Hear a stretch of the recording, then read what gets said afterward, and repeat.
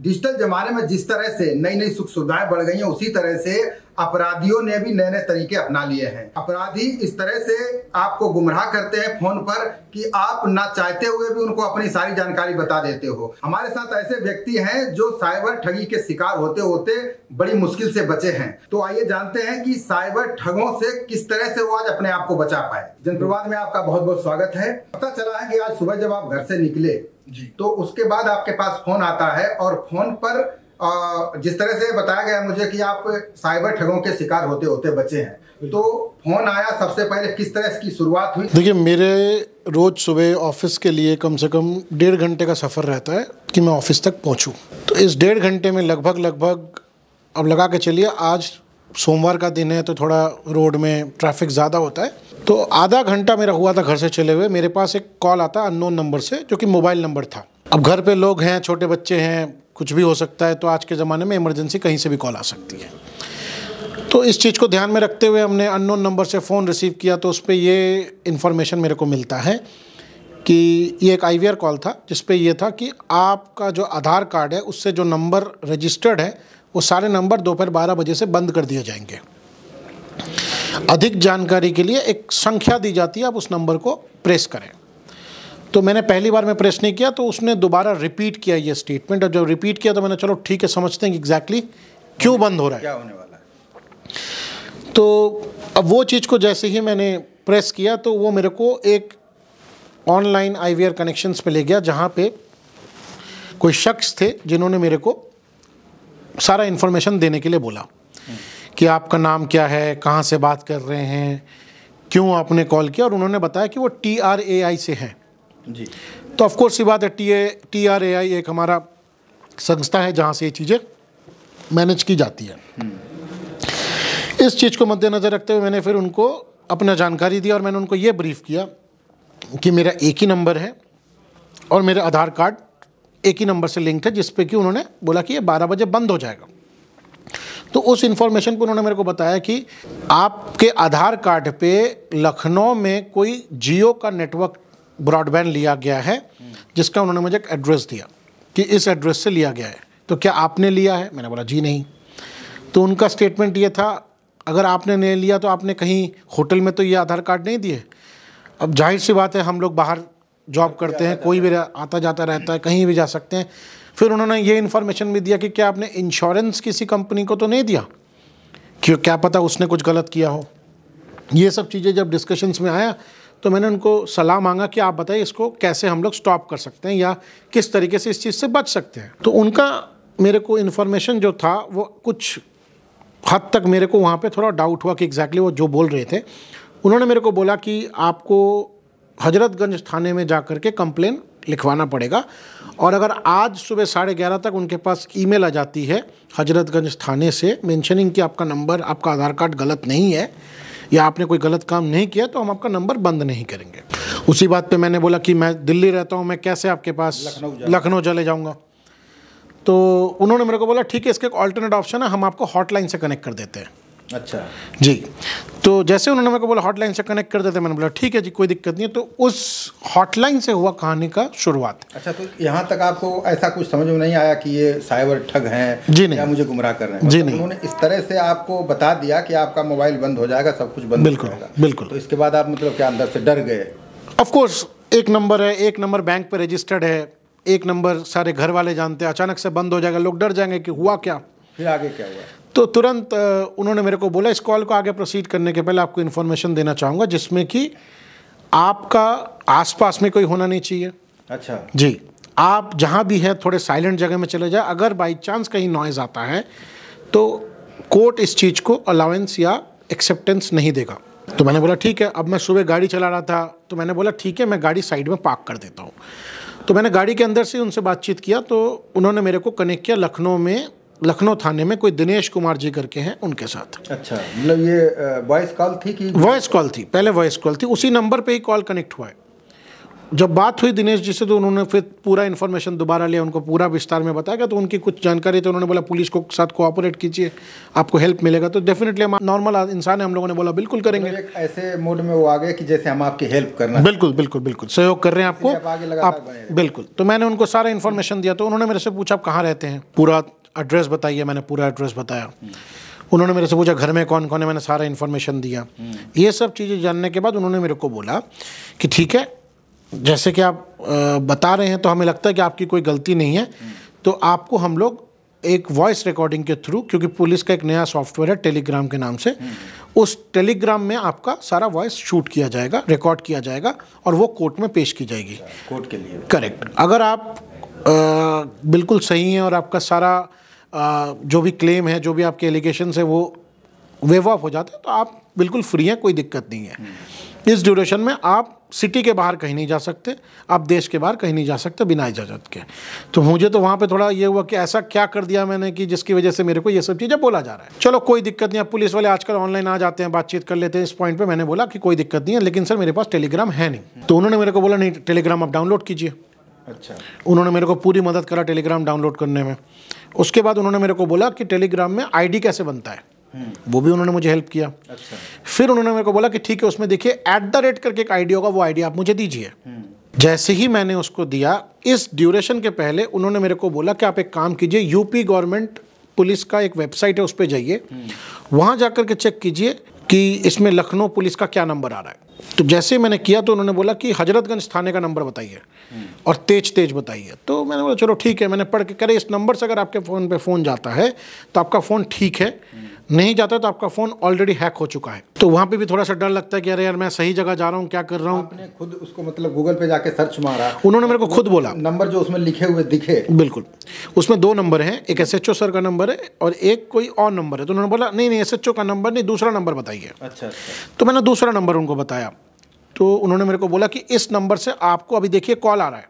अच्छा। तो दो तीन मिनट में मैंने बोला कि नहीं मेरे पास तो कॉल नहीं आया। वो कह रहे नहीं सर्वर जाम चल रहा है. अच्छा सर्वर जाम हो गया। तो जैसे उन्होंने बोला तो within two three seconds five seconds के अंदर मेरे पास कॉल हिट कर गया। वही नंबर उसी नंबर से। मैंने बोला मैं कॉल पिक करता हूँ सर नहीं नहीं नहीं इस कॉल को काटिए इसको मत उठाइएगा। अच्छा उसको काट दो सर उसको मत उठाइए। वो चेक करने के लिए आपका नंबर मतलब कि ये कि आप ये समझ जाए कि बिल्कुल जो भी सही जगह से कॉल चल रही है, बिल्कुल। सही जगह से कॉल चल रही है। तो ऑफकोर्स ये बात है थोड़ा ऑथेंटिसिटी बन जाता है। तो जैसे ही ये हुआ तो मैंने उनको बोला कि कोई दिक्कत नहीं है। आप मेरे को बताइए कैसे क्या इसको हम लोग रिकवर कर सकते हैं रेक्टिफाई कर सकते हैं। तो उनका पॉइंट मेरे को ये था कि अब आप टेलीग्राम डाउनलोड कर चुके हैं तो ये ये डिटेल्स आप उसमें मेरे को दीजिए। जी। जैसे ही मैंने उनको डिटेल्स दिया उन्होंने मेरे को टेलीग्राम पे वॉइस कॉल किया। अच्छा। जिस पे लिखा हुआ था लखनऊ पुलिस। तो वहाँ पे भी थोड़ा ऑथेंटिसिटी बना। हाँ कि नहीं लेकिन टेलीग्राम पे क्या होता है कि आपको नंबर नहीं दिखा मेरे को। और मैं पहली बार टेलीग्राम यूज़ कर रहा हूँ। हम्म, तो मैंने बोला शायद ये उसका फीचर होगा। तो जैसे ही मैंने मेरे को उनका कॉल आया उन्होंने बोला वीडियो ऑन कीजिए। हम्म, तो मैंने अपना वीडियो ऑन किया। मैंने तब उनको बोला कि साहब आप अपना वीडियो भी तो दिखाइए। हाँ बिल्कुल। तो मुझे उन्होंने वीडियो ऑन किया। उन्होंने बोला नेटवर्क थोड़ा सा फ्लक्चुएट करेगा इस वजह से अभी आपको लंबा वीडियो उन अपना ऑन नहीं करूँगा। हाँ, आपका वाला आपको जारी रखना है। प्लस फ़ोन की बैटरी कितनी है आपके पास? हम्म, फ़ोन की बैटरी भी पूछते हैं। तो मैंने बोला sixty five percent and above कह रहे नहीं एग्जैक्ट बताइए कितना है? तो मैंने बोला सिक्सटी एट है। कह रहे चार्ज कर लीजिए। कॉल थोड़ी लंबी चलेगी। मैंने बोला ठीक है। तो मैंने अपने गाड़ी से अपना चार्जर कनेक्ट किया। और मेरे गाड़ी में एक फैसिलिटी ये आता है जिसमें कोई भी अननोन नंबर से अगर हाइट किया हुआ नंबर भी कॉल आता है तो वो डिस्प्ले होता है।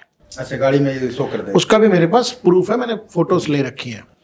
तो जैसे ये चीज़ हुआ तो उन्होंने वीडियो कॉल पे ऑन करते के साथ ही अपना आपको बंद कर दिया लेकिन अनफॉर्चुनेटली वो थोड़ा सा ये भूल गए थे कि हम लोग आज के ज़माने के लड़के हैं तो हमने भी स्क्रीनशॉट ले रखा है। जब ये सब चीज़ें हुआ तो मैंने उनको बोला कि सर मेरे साथ क्या गलती हो गई? तो उन्होंने पूरी कहानी सुना। फिर उन्होंने मेरे को बोला चलिए कोई बात नहीं ये आईडी फ्रॉड का केस है। आप इस पर मेरे को टेलीग्राम पे लिख दीजिए अपना पूरा नाम और आईडी फ्रॉड मैं आपको आपका आ, जो एफआईआर नंबर है वो देता हूँ। उन्होंने मेरे को आईडी फ्रॉड लिखने के पहले अपना एफआईआर नंबर दे दिया। अच्छा आपने नहीं लिख पाया लेकिन उधर उनका आ गया। जैसे ही आ गया तो तुरंत मैंने चलो ठीक है आ गया अच्छी बात है। तो मैंने उनको बोला कि अब इससे मैं कुछ भी कर सकता हूँ मतलब आई मीन मैं सब जगह ऑथेंटिक कर सकता हूँ। नहीं नहीं उतनी बातें क्यों करना बताइए एग्जैक्ट क्या हुआ। आपको मैं अभी रिकॉर्डिंग ऑन कर रहा हूँ उस पर आपके आसपास कोई नहीं होना चाहिए। अच्छा। मतलब जो चीज़ उन उन्होंने बोला जो पहले वाले पर्सन थे शाम करके वही बात वही बात बोला। तो उनको मैंने पूरा विस्तार किया कि ये ये चीज़ें हुआ है ऐसे ऐसे चीज़ें हुआ है। तो उन्होंने मेरे को बोला कि ठीक है हम हॉटलाइन पे हेडक्वार्टर्स पे फ़ोन कर लेते हैं और पता कर लेते हैं कि आपके आईडी के साथ और कहीं कहीं पे कुछ केस तो नहीं हुआ है। अच्छा। जब ये चीज़ बोला तो मैंने बोला पता कर लीजिए अब हम थोड़ी ना कुछ गलत किए हैं। कुछ किया नहीं तो तो पता नहीं मेरे को ऐसा कुछ लगा कि जैसे वॉकी टॉकी पे बात होती है उसी तरीके से कि zero six calling zero six calling वहाँ से हेडक्वार्टर तुरंत रिस्पॉन्ड करता है हेडक्वार्टर रेडी एक आधार कार्ड आईडी नोट कीजिए उन्होंने आधार कार्ड नंबर मेरे से खुद पढ़वाए कि अपना बताइए हमने है तो रिकॉर्ड कर रहे हैं ऑथेंटिक कर रहे हैं इसको बताइएगा कन्फर्म कीजिएगा। राकेश बनर्जी कन्फर्म्ड मैंने बोला कन्फर्म्ड तो उन्होंने मेरे को बोला तुरंत हेडक्वार्टर से उनको वॉइस पे ये आता है कि ये क्रिमिनल है क्रिमिनल है। इनके नाम पे छः सात केसेस दर्ज हैं और ये कोई संजय पाटिल है उनके साथ जुड़े हुए हैं। अड़तीस करोड़ का कोई घोटाला है जिस पे जुड़े हुए हैं ऐसा बहुत सारी चीज़ें एलिगेशंस लगाए जो कि मुझे बिल्कुल नहीं पता। जब डराने का पूरी तरह से बिल्कुल। नेटवर्क समझ लिया। प्लस उन्होंने बोला ये सीबीआई के लिए मोस्ट वारंटेड और मोस्ट यू नो वांटेड हाँ मोस्ट वांटेड पर्सन है। तो मैंने उनको ये सवाल पूछा कि सर अगर मेरा अड़तीस करोड़ का मेरे साथ घोटाला हुआ या मैंने किया है तो मेरी एक मकान तो होती अड़तीस लाख की। हाँ। मैं रेंट पे रहता हूँ। हम्म, उन्होंने बोला ये सब इन्वेस्टिगेशन कोर्ट करेगी। हाँ। मैंने बिल्कुल सही बात है अगर आप ये चीज़ रिकॉर्ड कर रहे हैं तो आई बिलीव ये सारी रिकॉर्डिंग आपकी जायज़ जगह में जाएगी। जबकि मुझे बिल्कुल नहीं पता था टेलीग्राम में कोई रिकॉर्डिंग नहीं होती। हम्म, तो उन्होंने बोला देखिए मैं ज़्यादा डिस्कशन नहीं करूँगा आपका केस काफ़ी पेचीदा और वारंट निकला हुआ आपके नाम पे मैं एस एच ओ साहब को आपका कॉल ट्रांसफ़र करता हूँ। कर रहे हैं। एस साहब भी बिल्कुल फ्री बैठे हुए थे। हाँ। तो इन्होंने बोला मैं आई कम इन बोल के ऐसा ग्रीट किया। अब ये सुनने में आ रहा मैंने देखा नहीं है। हम्म, हम्म, एस साहब राकेश जी आप क्या कर रखे हैं? अच्छा। ये उनका स्टेटमेंट मतलब जैसे पुलिस वाले की Correct, होती है बोलने correct. की उसी? तो मैंने क्या कर रखे हैं सर नहीं आपके नाम पे ऐसा सर आप कहाँ हैं? मैंने ऑफ़िस के रास्ते खड़ा हूँ सर नहीं आप ऐसे कैसे आपके नाम पे वारंट है शुक्र मनाइए आपका पास हमारा फ़ोन चला गया। नहीं तो आपको पुलिस उठा के लाती ऑफ़िस से। मैंने कोई दिक्कत नहीं इसमें गलत थोड़ी ना हमने कुछ किया है। अब आपके नाम कोई कल को कुछ भी बोल देगा आप कैसे मान जाएँगे? तो ये चीज़ें जब इनको इनको बताया गया तो इन्होंने मेरे को बोला कि नहीं आपको हम पूरा तसल्ली करेंगे तभी हेल्प करेंगे ये वो ऐसे वैसे। आजकल बहुत केसेस चल रहे हैं लोग ऐसे इंश्योरेंस इंश्योरेंस के नाम पे पैसा उठा के गायब हो जाते हैं। पता नहीं आप भी ऐसा कुछ कर रहे हैं कि नहीं कर रहे हैं कुछ पता नहीं तो काफ़ी सारे एलिगेशन लगाए। उस ग्राउंड पर मैंने इनको ये भी बोलने की कोशिश करा कि मैं किसी को लाइन पे ले लेता हूँ जो आपको हो सकता है थोड़ा एक्सप्लेन नहीं आप फ़ोन किसी को नहीं करेंगे कॉन्फिडेंशियलिटी है। आप अपना टेलीग्राम खोलिए देखिए आपके नाम पे वारंट में क्या लिखा हुआ है। तो उन्होंने मेरे को कॉन्फिडेंशियलिटी का एक वारंट भेजा अच्छा। जो कि तुरंत प्रिंट हो चुका था स्टैंप लग चुका था साइन हो चुका था। वारंट तो कोर्ट से आता है ना? Correct. कोर्ट के कोर्ट में जज के साइन भी होंगे उसमें। अब जैसे ही वो साइन होके आ चुका था मैंने जैसे ही पढ़ा कहते हैं थोड़ा तेज पढ़िए तो मैंने जैसे उसको तेज पढ़ा कंप्लीट हुआ तो देखा वो वारंट डिलीट हो चुका है फिर टेलीग्राम से। अच्छा। लेकिन फिर वही आदत है मेरी थोड़ी स्क्रीनशॉट लेने की तो मैंने ले लिया। उस वारंट के साथ एसेट वारंट का भी एक इशू था और एक अ, मेरा अरेस्ट वारंट का भी था। अच्छा दोनों एक साथ। करेक्ट तो एसेट में मैंने उनसे पूछा क्योंकि मेरा कोई घर नहीं है गाड़ी नहीं है तो आप कैसे मेरा एसेट कौन सा एसेट किसके बारे में कह रहे हैं? कह रहे बैंक अकाउंट्स अच्छा। वहाँ पे थोड़ा मेरे दिमाग में ये क्लिक किया कि हाँ कहीं ना कहीं ये फ्रॉड का मैं शिकार बनने जा रहा हूँ। बनने जा रहा हूँ। तो उस पॉइंट पे मैंने इनको बोला कि कोई दिक्कत नहीं है सर। मैं आपको जो भी चीज़ें इन्फॉर्मेशन चाहिए मैं बिल्कुल आपको दूँगा। पूरी कोऑपरेट हाँ जैसे कि आप कह रहे हैं कोऑपरेट करेंगे अब हम आपको जो जो बता रहे हैं अभी आपका नेक्स्ट कॉल हम सीबीआई ऑफिसर को देंगे। अच्छा। वो आपको जो जो इन्फॉर्मेशन मांगेंगे आपको सारा इन्फॉर्मेशन देना है। थाने से सीधे सीबीआई में डायरेक्ट नहीं थाने में ही बैठते हैं कह रहे हैं सीबीआई ऑफिसर अच्छा अच्छा थाने में? हाँ हजरतगंज थाने में सीबीआई ऑफिसर भेज रहे हैं और क्लोज मॉनिटरिंग कर रहे हैं हमारी पूरी टीम इनको असिस्ट कर रही है। मैंने कोई दिक्कत नहीं बिल्कुल हेल्प करेंगे क्यों नहीं करेंगे? इस ग्राउंड पे उन्होंने मेरे से पूछा कि आप अभी कहाँ पे हैं? ये एसएचओ का सवाल था तो मैंने बोला मैं रोड पे खड़ा हूँ गाड़ी में बैठा हूँ आपको जो सवाल करना आप कर सकते हैं। नहीं आप एक काम कीजिए आपको मैं जो इन्फॉर्मेशन दे रहा हूँ आप ये चीज़ अपनी वाइफ अपने मम्मी पापा फ्रेंड्स किसी वकील किसी को भी इन्फॉर्मेशन नहीं देंगे। अच्छा। क्योंकि ये मोस्ट वारंट और मोस्ट वांटेड केस है। तो मैंने बोला उनको मैंने जस्ट एक आउट ऑफ़ द क्यूरियोसिटी मैंने बोला सर एक पॉकेट मार भी अपने बारे में अपने गार्जियन को और अपने वाइफ वाइफ को बोलते हैं तो हम तो बोलेंगे सर नहीं अगर आप बोलते हैं तो तीन साल का सजा होगा। अच्छा। तो मैंने बोला बिल्कुल सही बात है आपका वारंट यही कहता है। चलिए हम कोशिश करेंगे ना बताएँ। आप एक काम कीजिए आप जहाँ पे भी है आसपास कोई होटल में कमरा ले लीजिए। अच्छा। तो मैंने बोला सर कमरा तो मैं नहीं लूँगा जी। नहीं ये वारंट लंबा चलने वाला आप गाड़ी में कितनी देर बैठेंगे? गाड़ी की एसी ऑन कर लीजिए। मैंने ए सी ऑन कर लूँगा कोई दिक्कत नहीं है।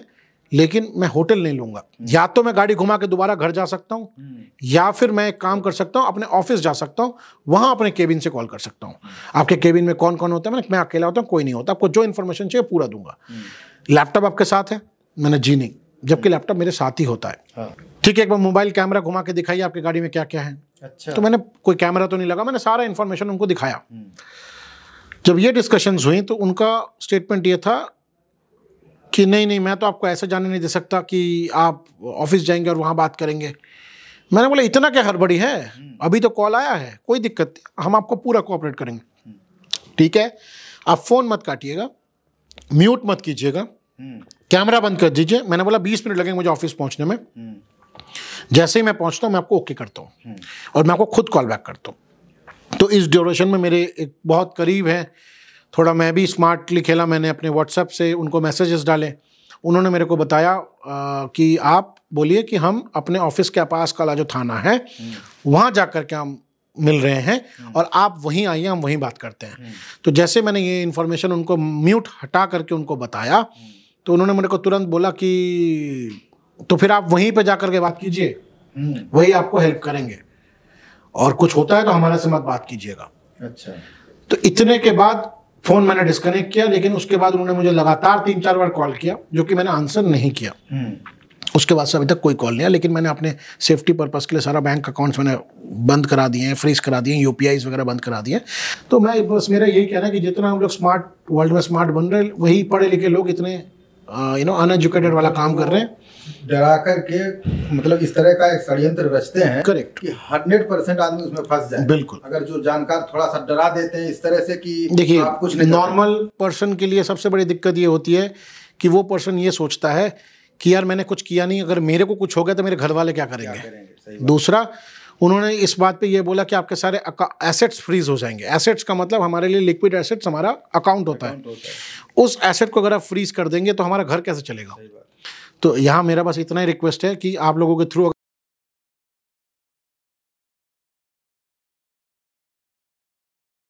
बहुत से अब तक ठगी के शिकार हो करेक्ट हैं बहुत कुछ लोग क्लोज फ्रेंड्स हैं जिन्होंने मेरे को इसको इस ड्यूरेशन के बाद इस इंसिडेंट के बाद लोग डर के मारे बोलते तक नहीं है। बिल्कुल। उन्होंने बताया कि ऐसे ऐसे हो गए जिनका जो ये वीडियो कॉल पे आते हैं उसका भी ये लोग एआई के थ्रू कुछ और मॉफ्स वगैरह करके अलग अलग गलत गलत काम करते हैं। तो कहीं ना कहीं हम लोग स्मार्ट तो बन रहे हैं लेकिन इन लोगों की वजह से स्मार्टनेस में भी कुछ ना कुछ कमियाँ रह रही है। तो बस यही है कि इसको कैसे चेक कर जो जानकार नहीं है बिल्कुल भी और उसके लिए तो दिक्कत है। से वर्दी से भी डरते हैं बिल्कुल। तो उनके लिए तो ये बहुत बड़ी बात है इतना देखिए तो जो वीडियो कॉल है वो वीडियो कॉल में कोई सिविल ऑफिसर नहीं बैठा हुआ था। उसमें पुलिस वाला ही बैठा हुआ था। आजकल देखो मार्केट में सब कुछ मिल जाता है। बिल्कुल। लोग वर्दी पहन लेता है कोई दो चार स्टार लगा लेता है अपने आप को कुछ भी बोल दो प्रोफेशनल हो चुके हैं ये हो सकता है उस तरह का बना के रखे हों जहाँ से ये बात करते हैं। देखिए अगर कायदे से देखा जाए ये सब ब्रेन्स जो है अनयूज है। अगर इनके ब्रेन्स को निकाल के अच्छे तरीके से यूज़ किया जाए कुछ अच्छा काम हो जाएगा। मैं तो यही बोलूँगा आप लेकिन चूँकि बैठे बैठे आपको. लगता होगा कि मेरे अकाउंट में मान लो एक लाख रुपए पड़े बीस हज़ार पड़े हैं, हम्म। तो बहुत कम अमाउंट है बिल्कुल सही बात है लेकिन मैंने सुना इससे पहले ये भी सुना कि दिल्ली में एक कोई बैंक मैनेजर थी उसके तीन करोड़ समथिंग लाख मतलब एक बार में निकाल लिया। बिल्कुल, समझ लो ये कि blackmailing एक person करते से और पूरे इंडिया में वो हर जगह ऑनलाइन तो पूरी दुनिया में अब देखिए अगर मैं होटल चले जाता मैं उनसे मिल लेता मैं उनके कहने के अकॉर्डिंग सारा इन्फॉर्मेशन उनको पास कर देता तो कहीं ना कहीं मेरे अकाउंट में भी जितना पैसा है वो पूरा निकल जाता। मेन उनका पर्पज ही यही होता है कि डराकर पहले इनसे इन्फॉर्मेशन कि हम बहुत बड़े ऑफिसर हैं और आप हमें सब जानकारी बताइए। अगर आप गलती से अकाउंट नंबर आप पैसा ले लेंगे वो पैसा ले लेंगे सब दे देते तो सारा पैसा चला जाता। पैसा चले जाए। दूसरा एक डर ये भी होता है कि जैसे इन्होंने मेरे से आधार कार्ड मांगा। हाँ। तो मेरी गलती ये हुई कि मैंने उनको आधार कार्ड दे दिया। अब मेरा पॉइंट ये है कि जो मैंने आधार कार्ड दिया मुझे ये भी डर है कि कल को यही मेरा नंबर यही नंबर मेरा बंद करके वो आधार कार्ड साइन करा के दोबारा से कोई नया सेम नंबर इशू ना कर ले और उसमें ओ ना आ जाए। तो ये सब चीज़ें डर भी लगता है ये सब चीज़ों की वजह से चीज़ें गलत भी हो रही है मार्केट में। तो इसके लिए आप क्या और संदेश देना चाहेंगे आम जनता को भी कि जैसे मान लो जो आपके साथ जहाँ तक हुआ है अगर किसी और के साथ होता है तो आप क्या क्या बचने के लिए क्या देखिए मेरा मेरा सुझाव तो ये रहेगा कि अगर ऐसा कभी किसी को अनवांटेड कॉल्स आता है। तो पहला आपको इन्फॉर्मेशन ये देना है कि हम अपना आधार कार्ड का इन्फॉर्मेशन या किसी भी इन्फॉर्मेशन बिना लॉयर के नहीं देंगे। वो सबसे बड़ा आपका राइट्स है कि आप पुलिस वाले को भी अपना आधार कार्ड या कोई भी डिटेल्स नहीं दोगे अनटिल अनलेस आपके साथ आपका वकील हो। दूसरा, अगर आपने गलत किया है तो वारंट आपके घर पे आना चाहिए। अगर आपके घर पे आएगा तो आप उस समय पे ये चीज़ों को होल्ड करेंगे।